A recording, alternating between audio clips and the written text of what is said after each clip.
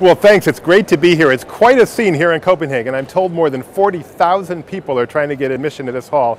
We have more than 100 heads of state, including President Obama, coming at the end of next week.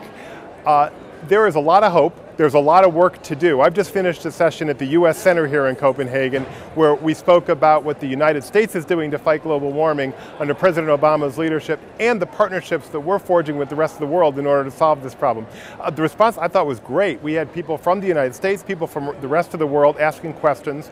I was there with my colleague, Undersecretary of State Maria Otero, who just gave a tremendous presentation. Um, I, would just sum it up this way.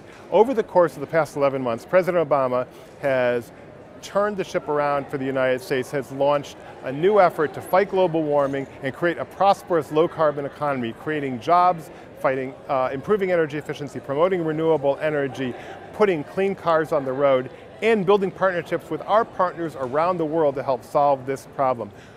What's happening here in Copenhagen can make a big difference in solving this problem. It's an exciting time to be here.